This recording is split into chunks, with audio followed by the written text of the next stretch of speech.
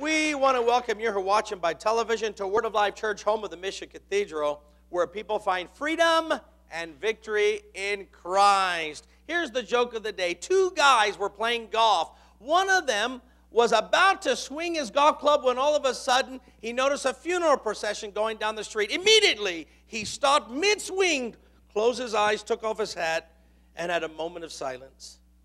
After it was over, his friend looked at him and said, Wow, that was one of the most beautiful, respectful things I've ever seen a golfer do. The golfer says, Well, you know, my mother in law wasn't so bad.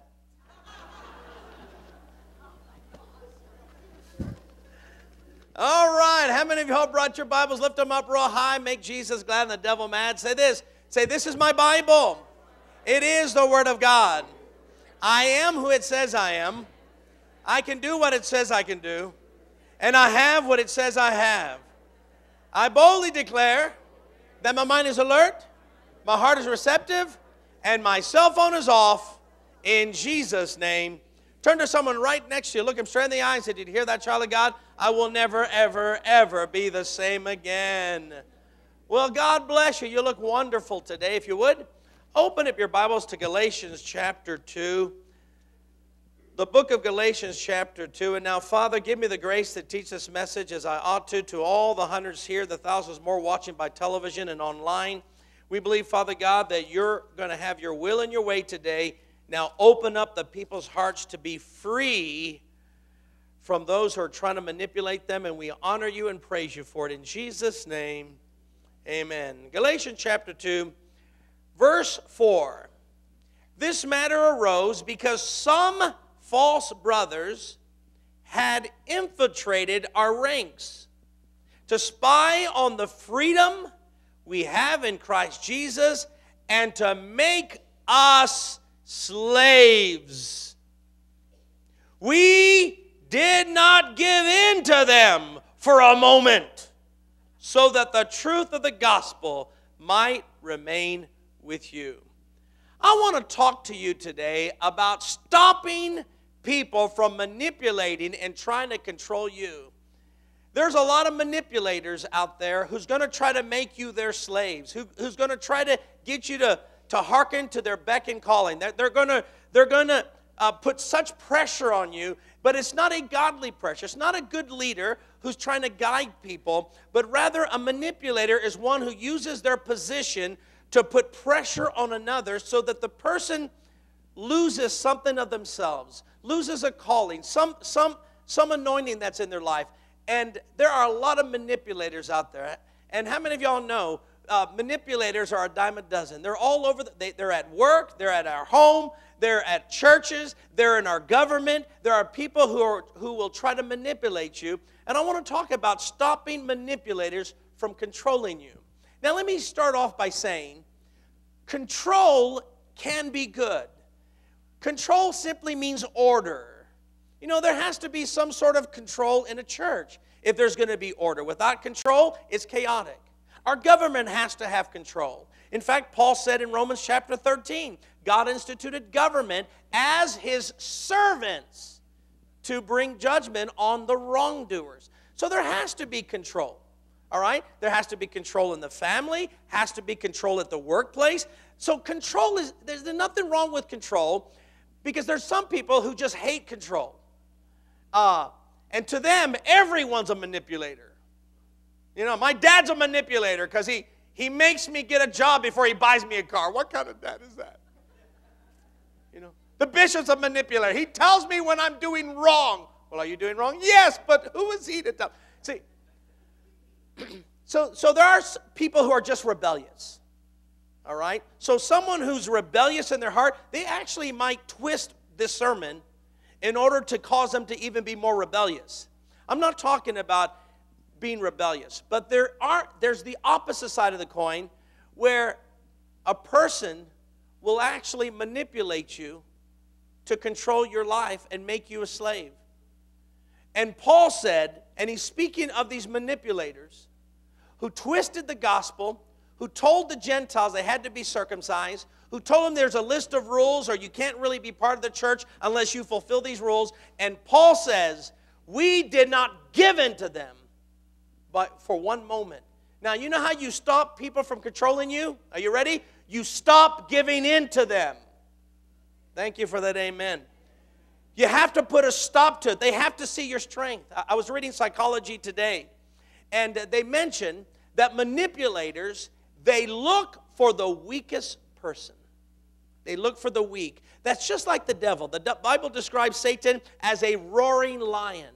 If you know something about roaring lions, uh, lions, they, they, they don't want to extend too much, expend too much energy going after strong animals, fast animals. Instead, they look for the sick animals, the weak, the maimed, the one that has a broken foot. They're looking for someone who's weak to devour. Now, listen to me manipulators can spot out, they can sniff out weak people.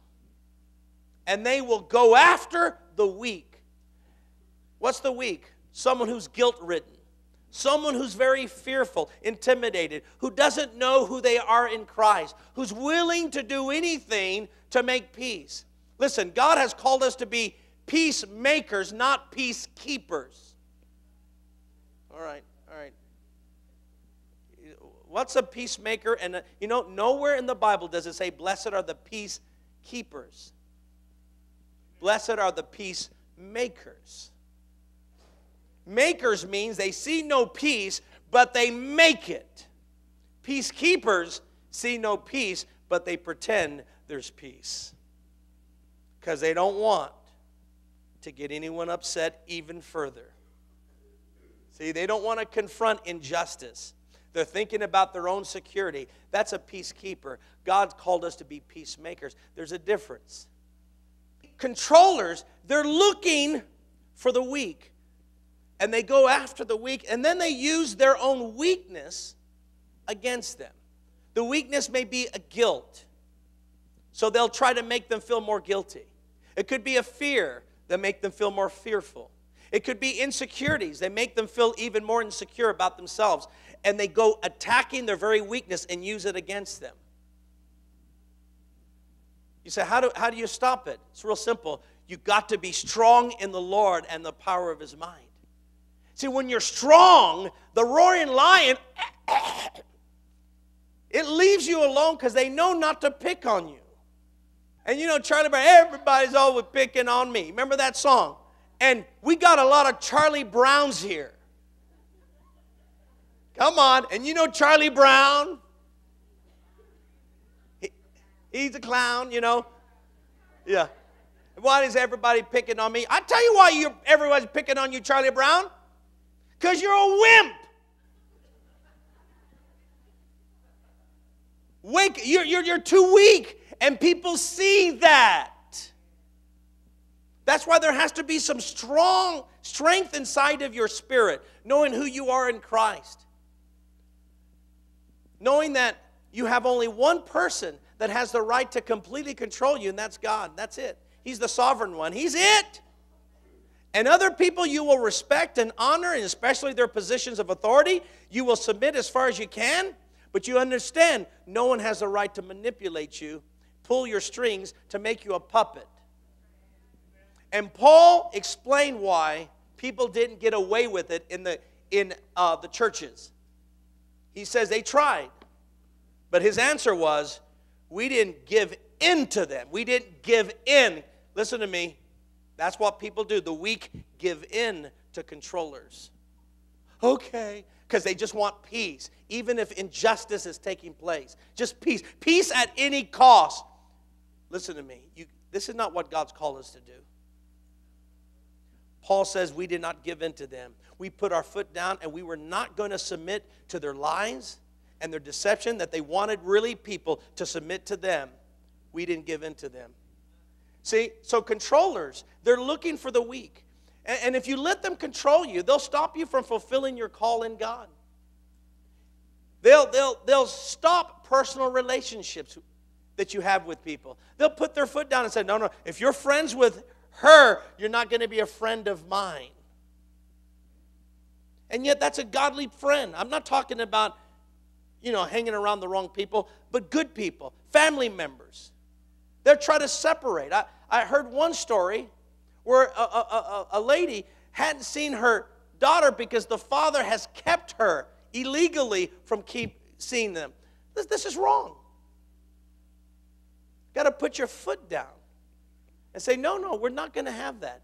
That's not right, and we're not going to put up with it. So, so controllers, though, they're looking for people that like to give in to make to keep peace when there is no peace. We're to be peacemakers. But peacemakers don't compromise truth and, and, and fairness. And what controllers will do, they'll cause you to not depend on God. And you start to depend on them for self esteem, for good feelings, for, for security, instead of depending on the Lord. So, all of this, uh, uh, controllers can be spouses, children. Yeah, you know, how many of y'all know there's a few kids that are controllers? Controllers can be found with in laws and outlaws. Controllers can be ministers and members. It could be your boss. Yeah, yeah. And employees. Oh. It could be friends, boyfriends, and girlfriends. It could be law enforcement, citizens, special interest groups. Listen to me. You find controllers in every, every realm of life. And you have to not give in to them. Because if you give in to them, then they'll have more control over you.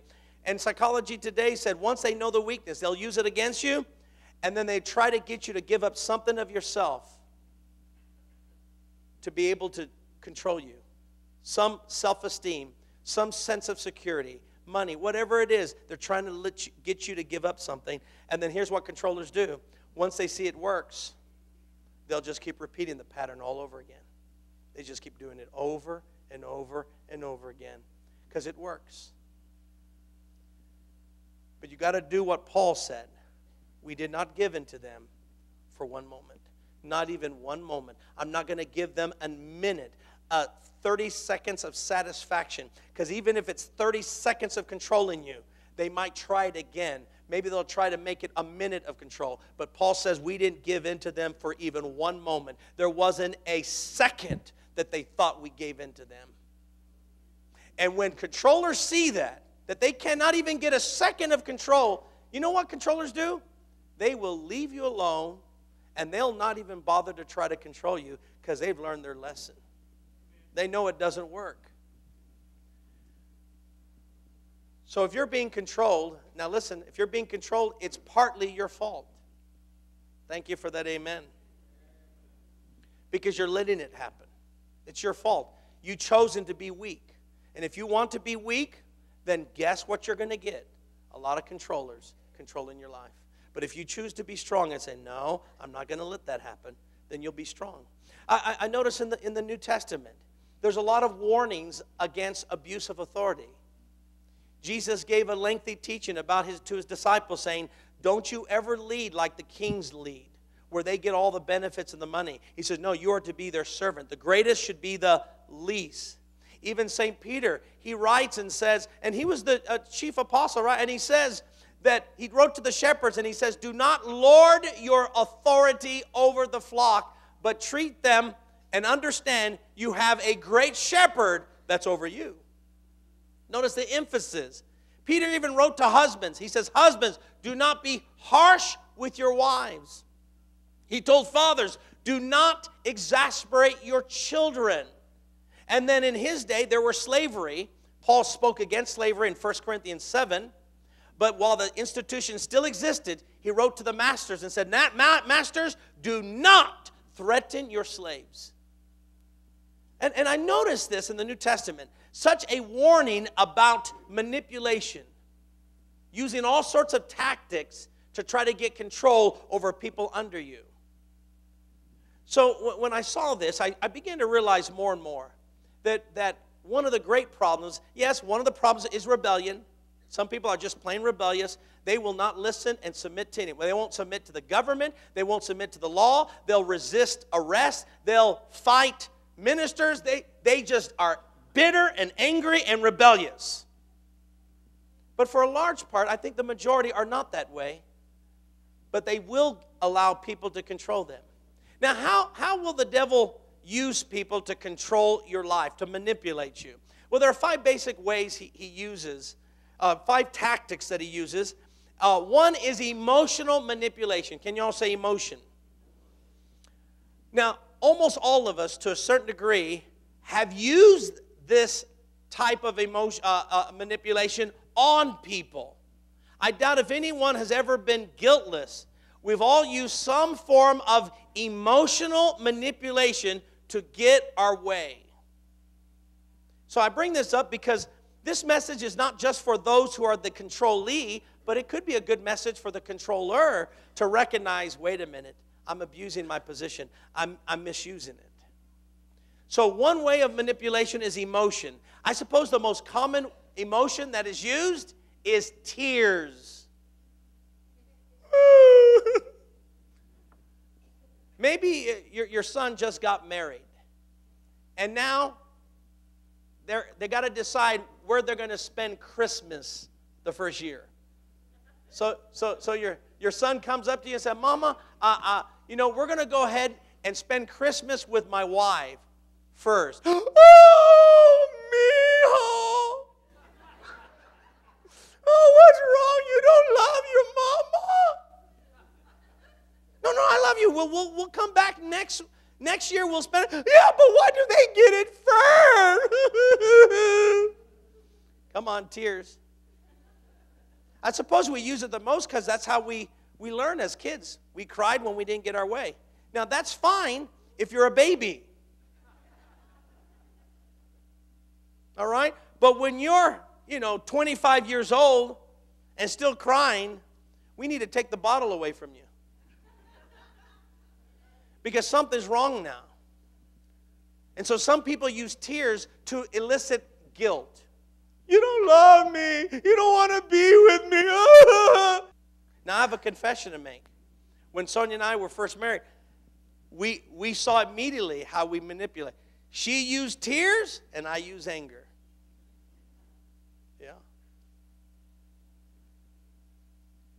But we had to learn.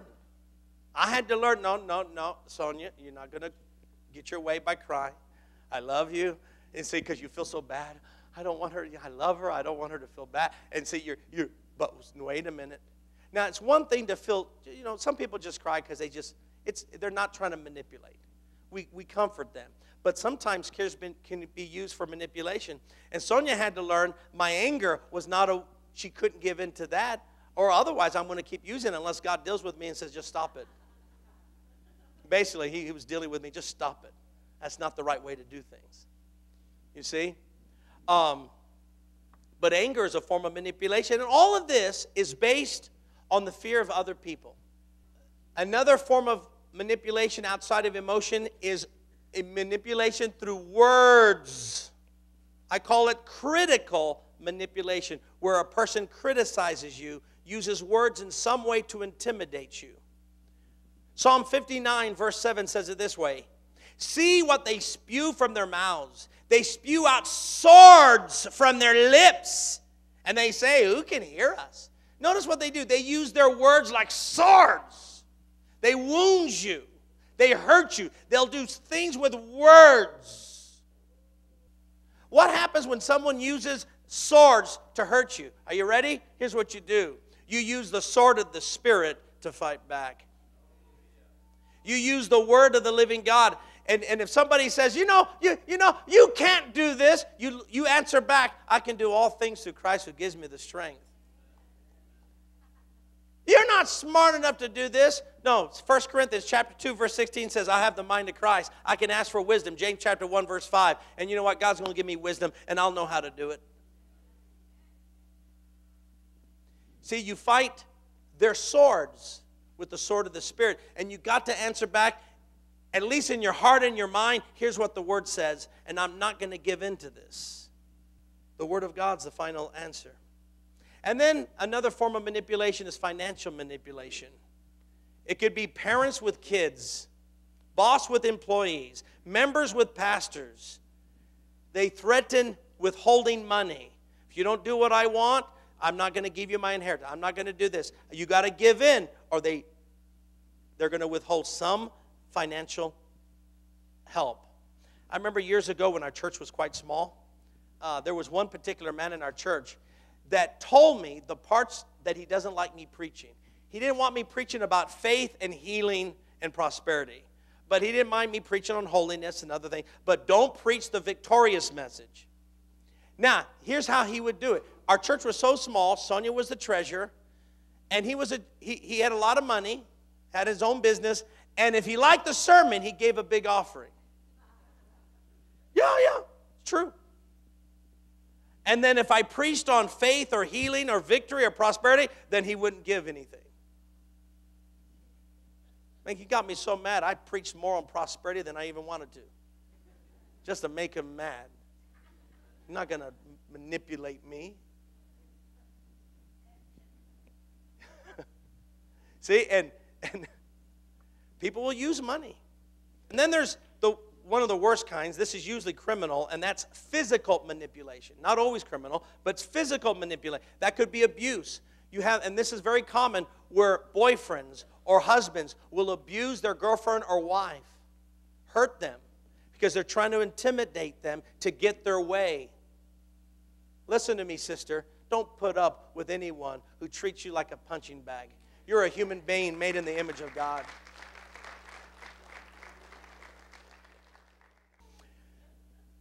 But physical manipulation could be it could be uh, uh, someone saying, I'm not going to let you see your grandchildren unless you give in to me.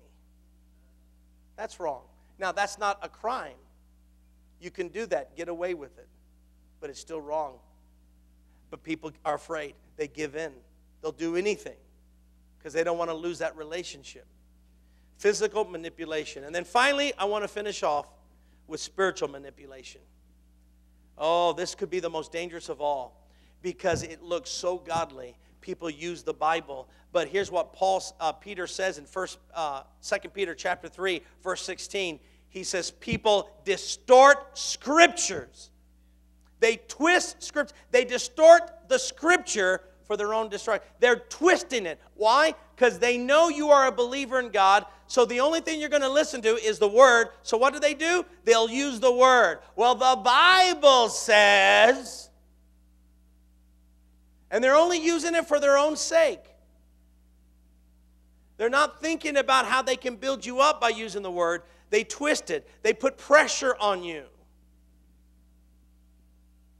Um, that's why I, when someone's using the scriptures on you, you got to stop and say, wait a minute. What does the scriptures really say? Let's, let's open up the Bible. Let's search the scripture. That's why one of my favorite passages is in the, in the book of Acts. I think it's uh, chapter 17 or chapter 18, where it says, The Bereans were of more noble character than the Thessalonians, for they searched the scriptures every day to see if what Paul said was true. Don't you love that? They searched it. You got to search scripture. I don't care if the pope, a pastor, or a priest tells you something. You say, Where's that in the Bible?